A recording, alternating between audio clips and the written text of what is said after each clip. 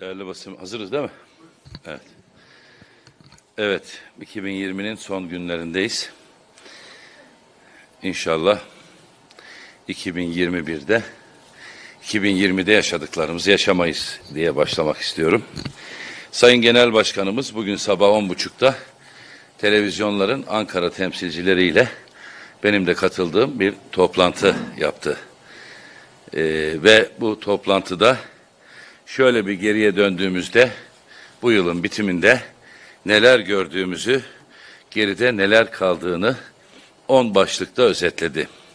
Çok kısa bunları ben de sizle paylaşmak istiyorum değerli arkadaşlar. Rüşvet alanlardan, Yüce kitabımız Kur'an-ı Kerim ile dalga geçenlerden büyük elçi atandığını gördük. Doğrusu incindik ve 83 milyonda incindi. Cumhurbaşkanı koltuğunda oturan zata aptal olma diye hakaretler edildi. Böyle bir mektup yazıldı. Türkiye aşağılandı ve buna aziz milletimizin şan ve şerefine yakışır bir refleks verilmedi. Doğrusu çok üzüldük. Eminim 83 milyon da üzüldü. Cumhuriyet tarihinde ilk kez bir cumhurbaşkanı başka bir ülkenin devlet başkanı tarafından mal varlığıyla tehdit edildi. Yakışmadı. 83 milyonca da yakışmadığı kanaatin hakim olduğunu biliyoruz. Gene Cumhuriyet tarihinde ilk kez bir kurşun atmadan uluslararası mevzuata göre Türkiye Cumhuriyeti'ne ait topraklardan Süleyman Şah'ın türbesi kaçırıldı ve buna gerçekten ama gerçekten çok burkulduk. Bu olmamalıydı. Ve Cumhuriyet tarihinde ilk kez bir sahte diploma ile Banka Yönetim Kurulu'na atama yapıldı. Daha acı olanı ise bu sahte diplomanın Türkiye Büyük Millet Meclisi kürsüsünden savunulması oldu.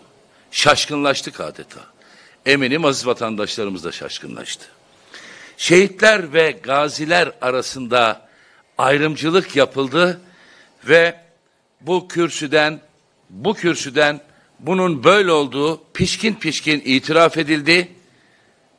Bunun da çok ama çok acı olduğunu belirtmek isterim. Cumhuriyet tarihinde ilk kez ordumuzun tank üretmesi gereken bu amaçla kurulmuş bir tank palet fabrikasının bir başka ülkenin ordusuna peşkeş çekildiğine tanık olduk. Milletçi onurumuz zedelendi. Ve gene şöyle bir geriye baktığımızda ekonomiyi yatırım, üretim, istihdam değil, faiz ve döviz odaklı bir mekanizmaya dönüştüren bir yönetime de geriye bıraktığımız dönemde tanık olduk. Faiz baronları Türkiye ekonomisinin yönetiminde ana aktör oldular. Bu da Türkiye ekonomisinin savrulmasına yol açtı. Tek adam rejimi, şahsım devleti önce demokrasiyi, sonra anayasayı ve sonra yasaları ayaklar altına alıp çiğnedi. Kimsenin can ve mal emniyeti kalmadı. Değerli arkadaşlar bunlar bu on madde alelade hususları içermemektedir. Bir ülkenin şan ve şerefine yakışmayan bir şekilde yönetildiğinin acı ve vahim sonuçlarıdır. Yine 2021'i geriye bırakırken ben 2020 ile ilgili ne söylersin diye bana sorarsanız şöyle söyleyebilirim. 2020'yi iki askı, iki kayıp, iki ayıpla kapatıyoruz değerli arkadaşlar. İki askıdan kastım şudur. Anayasamız askıdadır, kuru ekmek askıdadır. Anayasa Mahkemesi kararlarına uymayan alt mahkemeler Avrupa İnsan Hakları Mahkemesi kararlarına gövdesini siper eden bir cumhurbaşkanı ile karşı karşıyayız. Orta yerdeki anayasa sadece kağıt üstünde kalmış ve yürütme organınca fiilen çiğnenmiştir. Ekmek askıdadır. Artık kuru ekmek yendiği vakit insanların doyduğu kanaatini taşıyan bir AK Parti ile karşı karşıyayız. İki kaybımız var. Kur düşükken kaybolan 128 milyar dolardan bahsediyorum. Bu aziz milletimizin parasıdır, milletin parasıdır, beytülmaldir. dolar yükselmeden piyasaya sürülen 128 milyar kimlere verilmiştir? Kimler düşük kurla Merkez Bankası kasasındaki dolarların, milyar dolarların 128 milyar doları iç etmiştir? Bu kaybın, bu vahim acı kaybın bir an önce bulunması lazım. Bir kaybımız daha var. Dedim ya iki kayıp var.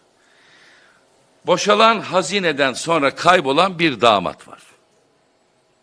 128 milyar dolar kayıp, damat da kayıp. Damat nerede? Bu ülkede Hazine ve Maliye Bakanlığı öncesinde Enerji Bakanlığı yapmış bir kimsenin istifa ettikten sonra nerede olduğunu bilmek siyasette şeffaflığında bir gereğidir. Sağlık sorunu var, ise Allah'ımdan acil şifa dilerim. Ama devletin hazinesi ve maliyesinin teslim edildiği bir damat istifa edip orta yerden kaybolmuşsa bu bir kayıptır. Bu kaybın da bulunması lazım. Bu siyasetin şeffaflığının gereğidir. İki de ayıbımız var. Dedim ya iki askı, iki kayıp, iki ayıp. İki ayıbımız var. 2021'den 2021'e 20'den 2021'e devreden iki de ayıbımız var. Maalesef üzülerek söylemek lazım ki siyasetin mafya vesayetine girmesi 2020'nin ayıplı bir yıl olmasına vesile olmuştur. Bir ayıp da şudur. Covid-19'la mücadele esnasında Türkiye olarak devletiyle, meclisiyle, yürütmesiyle, yasamasıyla sağlık çalışanlarına ayıp ettik. Çok ayıp ettik. Sağlık çalışanlarına yönelik bu ayıp öncelikle tabii ki ayıbın büyük kısmı, vebalin büyük kısmının müsebbibi yürütme organıdır. Ama hiç şüphesiz Türkiye Büyük Millet Meclisi'nde, meclisi de bu ayıbın ortağıdır. Bu da 2020'nin ayıplı bir yıl olarak hafızalarımızda kalmasına sebep olacaktır. Değerli arkadaşlar ben tabii iki askı, iki kayıp, iki ayıp dedim ama ayıp saymakla bitmiyor. Aslında dün açıklanan asgari ücret de bir o kadar ayıptır. Şunu anlarım. Devlet olarak, ülke olarak, millet olarak bir büyük darboğazdayızdır. Herkesin ama herkesin. Sade asgari ücretlinin değil. Cumhurbaşkanından yandaş müteahhitlere kadar, bakanlar kurulundan milletvekillerine kadar. Herkesin bir kemer sıkması gerekir. Ve bunun gereği olarak asgari ücret beklentileri karşılamaktan çok uzak, çok düşük ilan edilir. Deriz ki arkadaş hep birlikte bir sınavdan geçiyoruz. Kardeşim bu sınavdan hep fakir fukara mı geçecek ya? Şimdi 2825 lira asgari ücret Cumhurbaşkanı maaşının 31'de biri. Yani Cumhurbaşkanı asgari ücretin 31 katı maaş alıyor. Bunun dünyada buna en yakın bir örnek var. Ondan sonra ortalama OECD Avrupa Birliği ülkelerinde bu 10-12 kat arasında. Ama bizde 31 kat. Bu ayıp değil mi? Bu günah değil mi? Ve bu asgari ücretten değerli arkadaşlar 7 milyon aileyi insan demiyorum 7 milyon aile demek minimum 28 milyon insan demektir. 7 milyon ailenin aileden toplam 19 milyar lira vergi kesilecek demek. 16.7 milyarı gelir vergisi, 2.4 milyarı damga vergisi. 19 milyar vergi kesilecek asgari ücretten. Bunun için bu kadar düşük. Biz diyoruz ki ilan edildi artık. İş işten geçmedi. Teklifimiz mecliste bekliyor. Asgari ücretten vergiyi kaldıralım. Bir günde kaldıralım. Bir saatte kaldıralım. Uzun konuşmalara gerek yok. Arkadaş sen beşli çeteye, beşli çeteden sadece bir üyeye 9 milyar TL vergi muafiyeti getiriyorsun. Bir kişiye 9 milyar. Ama 7 milyondan keseceğin 19 milyarı neredeyse yarısını bir kişiye feda ediyorsun kardeşim. 7 milyondan kesme O bir kişiye de 9 milyarı feda etme, verme. Çok enteresan. Bugün de yönetmelik düzenlenmiş, resmi gazete yayınlanmış. Vergi muafiyetlerini resmi gazetede yayınlama zorunluluğu da kaldırılmış. Hadi hayırlı olsun. Bundan sonra öğrenemeyeceğiz de. Devletin kurumlarının içinde namuslu bürokratlar eğer bir bilgi verirse ne ala. Yoksa öğrenemeyeceğiz. Değerli arkadaşlar, asgari ücrette sözün bittiği yerdeyiz. Son söz şu söylenebilir, olsa olsa. 7 milyon aile, 5 aileye, 5, 5 bin değil, 50 bin değil. 5 aileye kurban edilmiştir. Devletin bu 5 aileye sağladığı imkanların yarısından daha azı asgari ücretliden vergi almamayı gerektirecek bir tabloyu içerir. Ne kerameti var bu beş ailenin, beş şirketin, beşli çetenin kerameti nedir? Ben bunu merak ediyorum. Ve buradan Erdoğan'a yılın bu son günlerinde sesleniyorum. Sayın Recep Tayyip Erdoğan, 7 milyon nere, 5 nere? 7 milyon aileyi 5 aileye kurban etme, feda etme. Zaten verdiğin 2825 liradan asgari ücretli vergisini ödeyecek. Kuru fasulyede bir, kumaşta 18, bebek bezinde 18, mamada 8, deterjanda 18. Eğer çamaşır makinesi alırsa hem 18 KDV hem 6.7 ÖTV. Eğer buzdolabı alabilirse asgari ücretli hem 18 KDV hem 6.7 ÖTV ödeyecek. Zaten aldığı paranın üçte birini sana vergi olarak ödeyecek ayrıca kaynağından kesme kardeşim ya. Kesme ya. Ne var bu beş ailede? Bunun sırrı nedir? Bunların himmeti, kerameti nedir? Koskoca Türkiye Cumhuriyeti'ni beş aileye peşkeş çekemezsin. Sinirlenince sinirlendi diyorlar. Gel de buna sinirlenme kardeşim. Yılın son günündeyiz. Günahtır. Kul hakkı var, yetim hakkı var. Lafa gelince mangalda kür bırakmazsın. Kur'an-ı Kerim'den alıntılar yaparsın. Kur'an-ı Kerim 7 milyonun hakkını 5 kişiye ver diyor mu kardeşim? Diyor mu? Demiyor. Allah'tan kork. Milletten utanmıyorsun. Bu aziz milletten seni 18 yıldır devletin başında tutan milletten utanmıyorsun. Bari Cenab-ı Allah'tan kork. Gel yol yakınken bu asgari ücret meselesinde en azından vergiyi kaldırmak suretiyle bir düzenleme yapabiliriz. Çalışanlar derin bir nefes alamaz ama bir parça üzerimde tebessüm yaratabiliriz. Yoksa sen de mi milletvekilin gibi milletin karnına kuru ekmek giriyorsa millet toktur kardeşim. Gerisi teferruat diye mi bakıyorsun bu işe? Yapma. Yapma bak Türkiye Büyük Millet Meclisi'nden sana sesleniyorum. Günahtır. Vebaldir. Bunu devletin malını beş aileye peşkeş çekme. Değerli arkadaşlar, çiftçi çiftçi deriz. Köylü milletin efendisidir deriz. Lafta kalır. Güya hükümet verilerine göre gıdada, tarımda Avrupa birincisiyiz. Güya hükümet verilerine göre 2023'te yani iki sene sonra biz dünyanın en büyük 10. ekonomisine sahip ülke olacağız. Şimdi ben soruyorum ya. Soruyorum. Erdoğan'a soruyorum. Ülkende çiftçinin ahırdaki ineği, öküzü, danası haczedilmişken, çiftçinin var ise traktörü haczedilmişken, sen nasıl ilk ona gireceksin ya?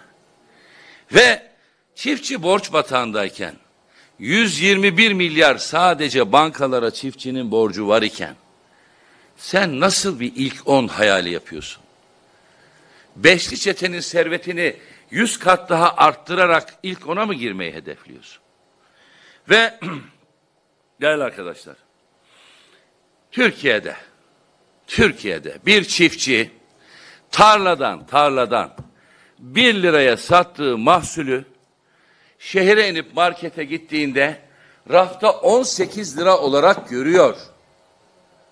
1 liraya sattın 18 lira olarak markette sende sizde bizde hepimizde. Arkadaş buna 2 lira nakliye koy. 2 lira aracı, birinci aracı karı koy. 2 lira ikinci aracı karı koy. 1 lira da market karı, karı koy. 7 lira eder, 8 lira eder arkadaş. 18 lira. Bu şu demek değerli arkadaşlar. Hepimiz tüketiciyiz aynı zamanda. Çiftçi tarlada soyuluyor, tüketici markette soyuluyor. Bu düzenin tam adı budur. Soygun düzenidir, vurgun düzenidir. 5 litre zeytinyağını alabilen yok zaten de. 5 litre ayçiçek yağı son bir yılda 35 liradan 82 liraya çıktı. 82 lira. Yani yüzde yüzün üstünde bir enflasyon. Hatta Kızılay Başkanı utanmadı. Bir litre kan, bir beş kilo ayçiçek yağı diye promosyon yapar hale geldi. İnsanlar evine marketten alamadığı ayçiçeği kan vererek alır hale geldiyse yazıklar olsun. Tek kelimeyle yazıklar olsun. Ve çiftçi derdini anlatmaya meclise geldi değerli arkadaşlar. Köylü, Atatürk'ün bu milletin efendisi dediği köylü, meclisin kapısına dayandı. Barışçıl, çok büyük kitleler halinde değil, te, işlerinden seçtikleri temsilcilerle, ziraat odaları, çiftçi birlikleri ve onlar derdest edilerek Ankara il sınırının dışında bırakıldılar, sürüldüler. Ankara il dışına, il vilayet mülki hudutları sınırları dışına çiftçileri derdest edip dışına attılar. Bu mudur devletin vatandaşa bakışı? Bu da kabul edilemez. Kabul etmiyoruz. Yeni bir sorunumuz var. Evet maske şüphesiz. Şimdi ben takmıyorum sadece. Hepimizde maske var. 83 milyona rica ediyorum. Bu illetten kurtulana kadar hepimiz maskemizi takalım. Evet mesafe. Siz de işte mesafeli duruyorsunuz. Duralım. Evet hijyen ve temizlik. Olabildiği kadar sık bunu yapalım. Ama Covid-19'u bahane ederek yaşam tarzı, inanç aidiyeti ve etnik aidiyet üzerinden siyaset yapmak bunlara yetmedi. Şimdi insanların yaşam tarzına ayar verilmeye çalışılıyor. İnsanların yaşam tarzı tehdit ediliyor. İnsanların yaşam tarzına baskı ve dayatma yapılıyor. Diyanet İşleri Başkanlığı medyayı örtülü olarak ayar veriyor. Bu aziz millete terbiye dersi vermeye, medyaya terbiye ayarı yapmaya çalışıyor. Sayın Başkan, bu milletin edebi, ahlakı, terbiyesi kendine yeter. Sen işine bak. Rütük medyayı tehdit ediyor. Yılbaşıyla ilgili, yapılacak yayınlarla ilgili. Ve İçişleri Bakanı da milleti tehdit ediyor. Millete baskı ve dayatmada bulunuyor.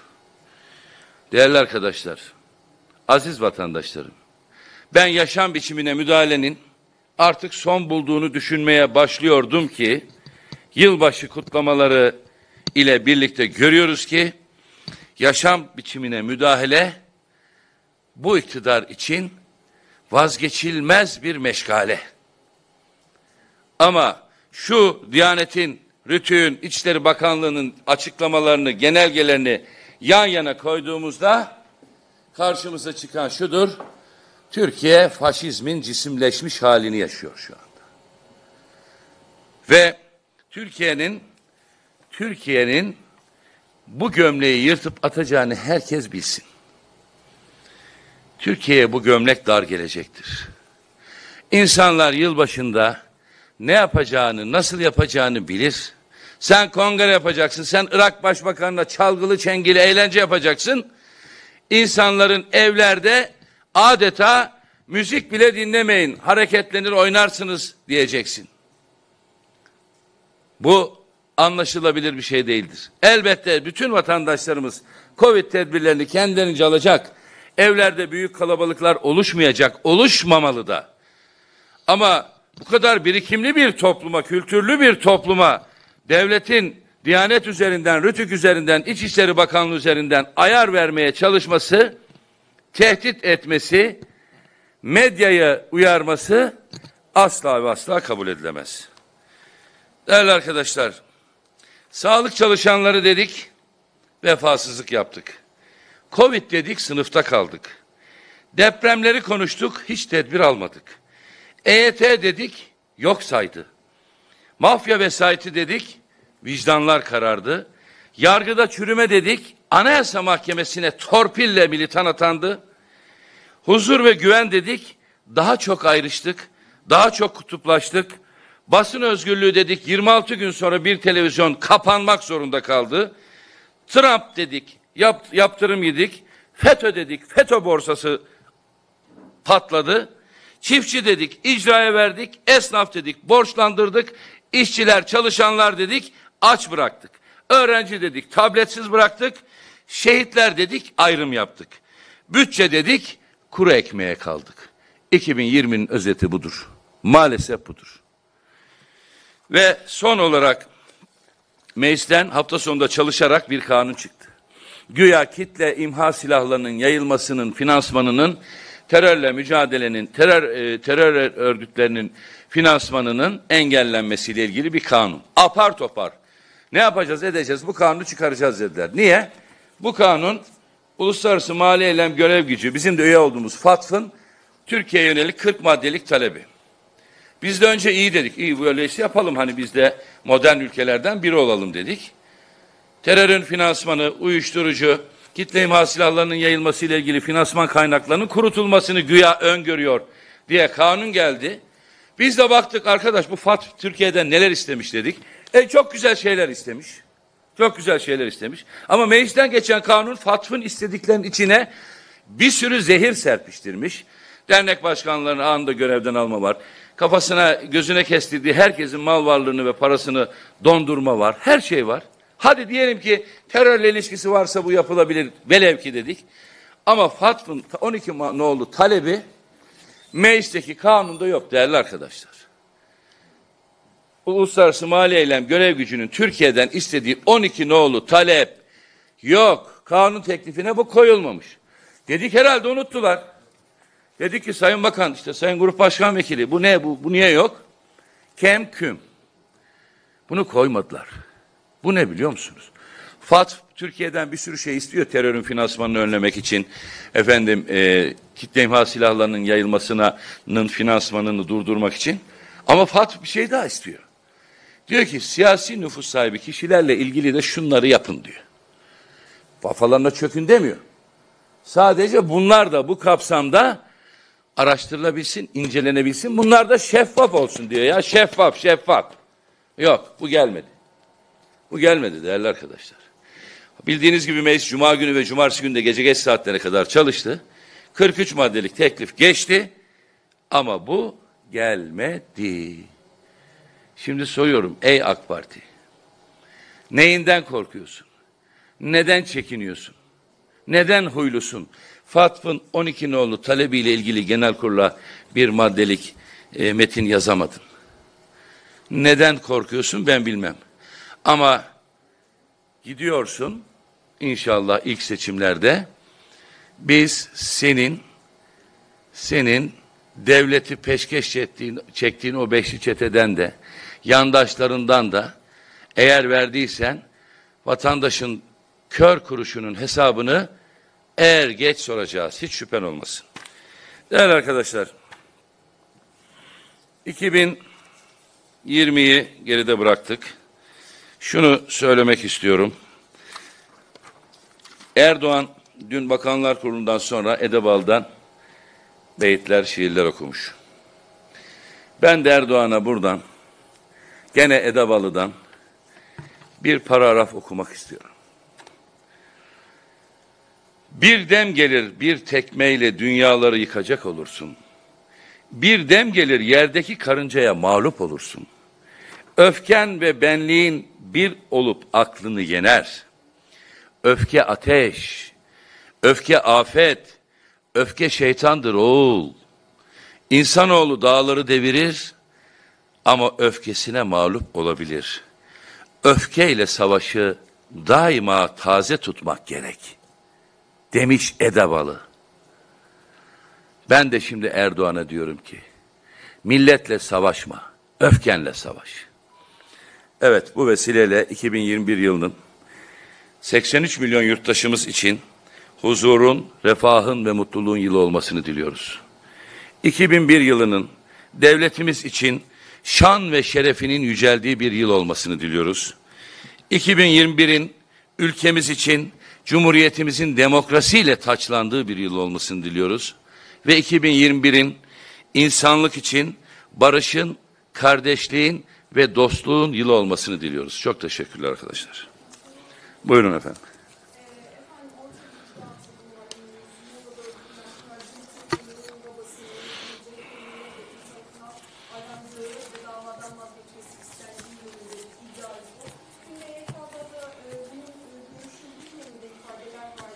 Sayın Genel Başkanımız Sayın Altınoğlu ne konuşuldu bu iddiaya ilişkin? Ee, baba Gültekin e, Ocak ayında e, bu kendisini arayan açıklayacağı e, açıklamaları var. Değerlendirmenizi öneriyorum. Gültekin ailesine tekrar tekrar Allah'ımdan başsağlığı diliyorum. Pınar kardeşimize rahmet diliyorum. E, sabır diliyorum. Değerli arkadaşlar böyle bir olay yok. Adı geçen milletvekilimizi yakinen tanıyan birisi olarak söylüyorum. Kaldı ki milletvekilimiz kendisiyle bir ilin milletvekili olması, olayın da o ilde cereyan etmesi nedeniyle babayla bir buçuk dakikalık bir telefon konuşması yapıyor. Hiç tanımadığı bir babaya da zaten bir milletvekili bir buçuk dakikada ya sen bundan vazgeç falan demez. Normal hiçbir insan zaten normal zekaya sahip kimse böyle bir olaydan sonra aileye böyle bir şey teklif etmez. Milletvekilimiz böyle bir şeyin ispatlanması halinde bırakın CHP'den istifa etmeyi milletvekilliğinden istifa edeceğini kamuoyuyla paylaştı. Biz kendisine güveniyoruz. Bu ve benzer olayların biraz kaşındığını, tahrik edildiğini, teşvik edildiğini hatta bazen düşünmüyor değiliz. Çünkü Erdoğan için topluma söyleyecek söz kalmadı. Cumhuriyet Halk Partisi içindeki birlik ve bütünlüğü bo- bozmaya yönelik hamleleri de boş çıktı. Erdoğan şimdi çamura yatmaya başladı. Çamur siyasetine başladı.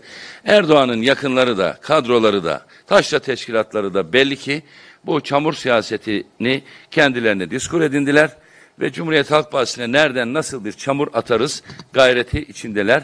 Ama gayretleri beyhudedir. Cumhuriyet Halk Partisi'nin Türkiye'nin bir iktidar alternatifi olarak Millet İttifakı ile birlikte iktidarını bu tür çamur siyasetin en önge, e, e, önlemesi mümkün değildir. Evet. Buyurun efendim.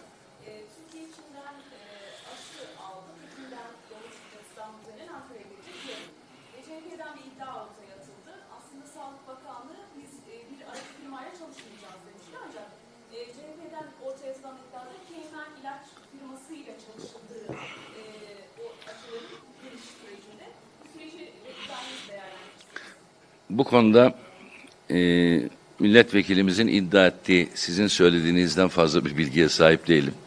Benim iyi bir huyum var. Bilmediğini bilenlerdenim. Yani bu milletvekilimizle görüşürseniz daha iyi olur. Ama şunu söylemek lazım. Covid-19 ile ilgili süreç için ne dedik başından beri? Türkiye Sağlık Bakanı'na Cumhuriyet tarihinde hiçbir bakan açmadığı krediyi açtı.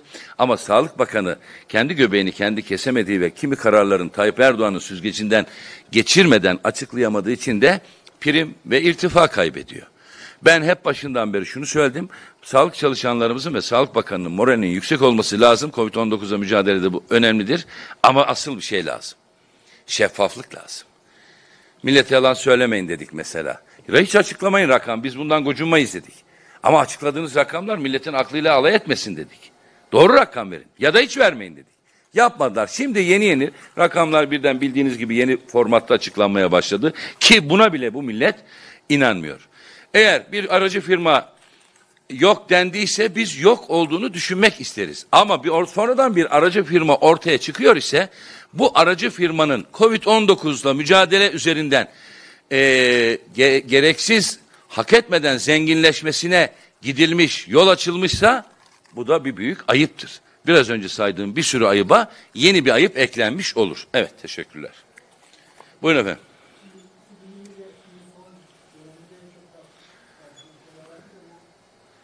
Hamza Yerlikaya'nın sahte diploması konusuydu. Şimdi unutulma hakkını kullanarak e, erişim engeli, bu Evet. engellerle ilgili olarak erişim engeli. Gerçi sabah da kendisi bir tweet attı. O mecliste bir tartışma yönetmeyi Mücahit e, Özkan'ın bir tartışma yaptı. E, fakat sonra sildi.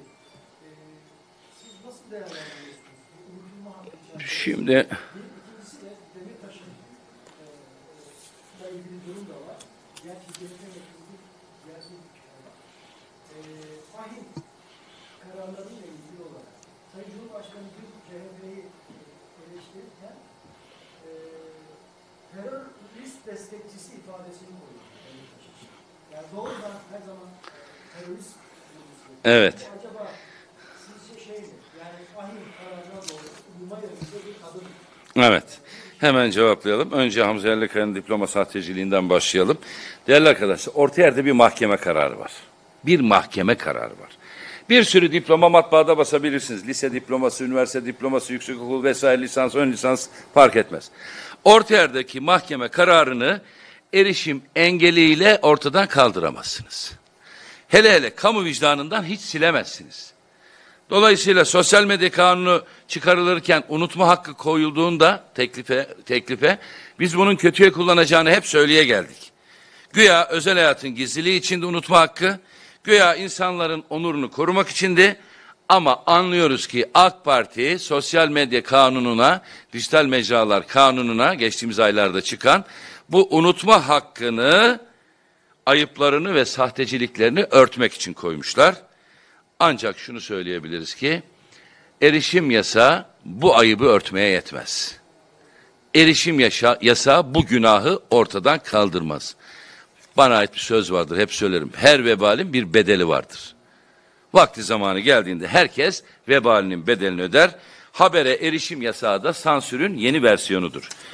Ee, Avrupa İnsan Hakları Mahkemesi kararından sonra Erdoğan önce terörist dedi, şimdi terör destekçisi diyor. Bir dil değişikliğini Erdoğan'da çok klasik biz buna alışkınız görüyoruz.